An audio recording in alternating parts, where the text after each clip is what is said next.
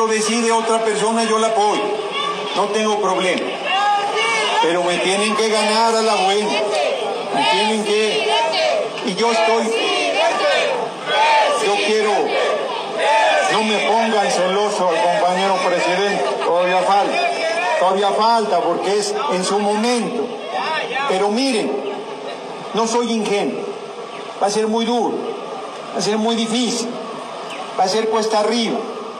Yo por eso les digo, háganme suyo políticamente hablando. Si la gente no me apoya, si la gente no me ayuda, si no generamos una revolución dentro de la revolución, si este movimiento no se manifiesta de manera muy poderosa apoyando mi candidatura en su momento, pues no voy a ser candidato.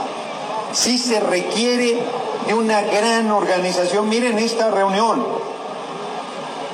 ¿A quién le dieron algo? ¿A quién condicionaron? ¿A quién traen a fuerza? ¿A quién? Es puro corazón, pura convicción, puro compromiso. Entonces tenemos, sí, muchas gracias. Amor con amor se paga, como dice el compañero presidente. Ni un solo agarreado. Entonces hay que tocar corazones, hay que tocar conciencia. Yo termino diciéndoles un consejo que nos dio el compañero presidente justo hace más de dos años, poquito antes de que empezara la pandemia. Yo creo que poquito antes de que mataran a Giovanni López Ramírez.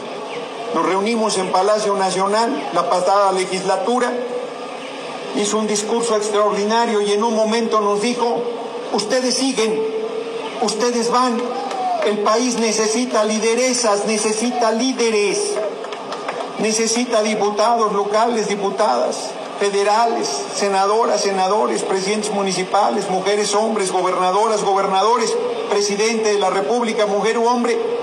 Y ya saben que nunca falta un barbero. No, presidente, tú relígete. No, dijo, yo me voy en 2024. Van ustedes. Y todo el mundo alza la mano, ¿no?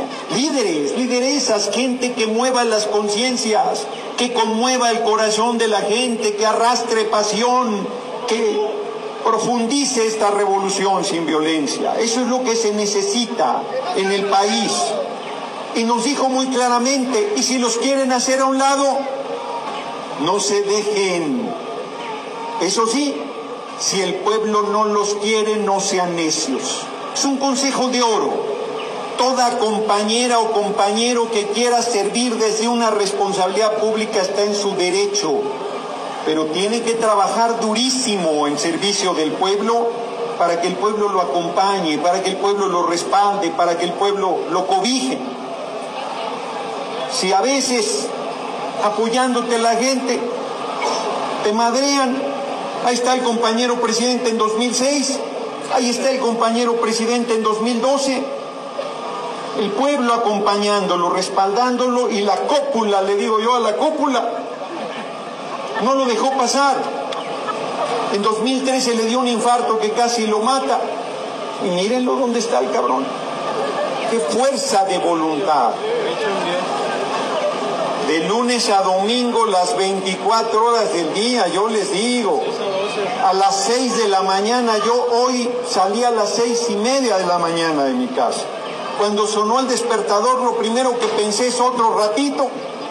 Y ese cabrón ya está en su oficina, y a las 7 ya está en la mañanera, y anda como trompo chillador por todo el país y como maldoso como soy, les digo, y yo creo que en la noche cumple sus obligaciones fiscales en Palacio Nacional, no sé cómo le hace, la verdad. Está muy cabrón.